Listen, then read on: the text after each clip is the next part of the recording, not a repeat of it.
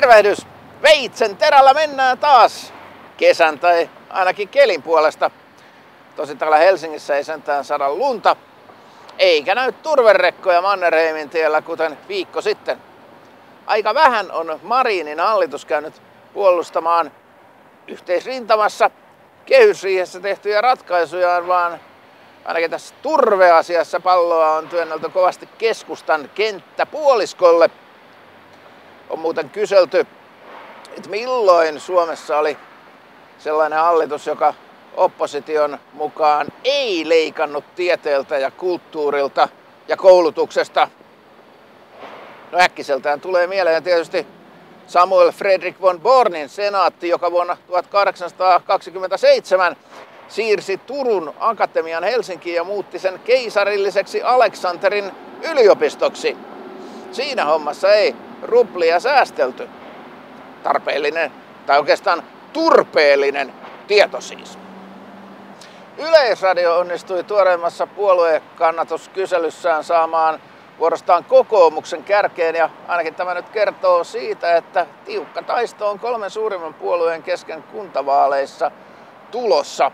Se jaksaa edelleenkin ihmetyttää, että Helsingin Sanomat omassa jutussaan vertaili Ylen ja Hesarin omia lukuja ihan kuin tyhjää vaan, vaikka ei niissä oikeastaan mitään vertailemista ole. Liikaa ei voi korostaa sitä, että Helsingin Sanomat ja Yle kysyvät nyt tällä hetkellä täysin eri asiaa, kun Yle kysyy, ketä äänestäisitte, jos kuntavaalit olisivat nyt, ja Hesari puolestaan, että ketä äänestäisitte, jos eduskuntavaalit olisivat nyt. No, ehkä ne hetken aikaa olivat tuossa viikko sitten lähellä, mutta nyt ehkä kuitenkin kuntavaalit ovat todennäköisimpiä. Tyhjän äänestäminen on politiikassa turhaan aliarvostettu taktinen veto, joskin nyt tässä nimenomaisessa Euroopan elvytyspakettiasiassa kokoomus päätyi pikkujahkailun jälkeen siihen, että ei se tyhjän äänestäminen ehkä nyt sitten ihan niin viisasta olekaan.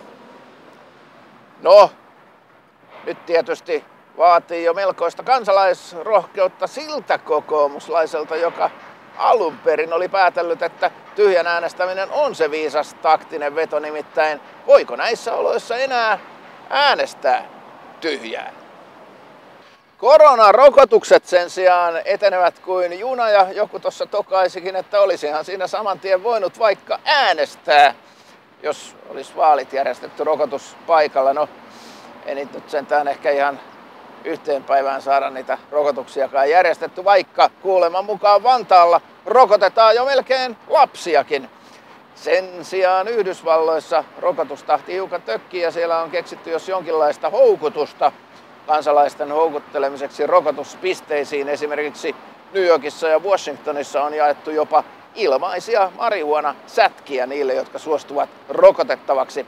Yhdysvaltain presidentti Joe Biden on ollut hiukan maltillisemmalla linjalla, mutta kyllä hänkin on yllykkeitä keksinyt. Biden on maalaillut jonkinlaisia bonuksia tai etuseteleitä niille, jotka saadaan rokotettavaksi. No, Tämähän alkaa muistuttaa hiukan kuin Neuvostoliittoa, jossa ennen vanhaa vaalipaikoilla oli tarjolla sellaisia harvinaisuuksia, kuten esimerkiksi olutta ja makkaraa.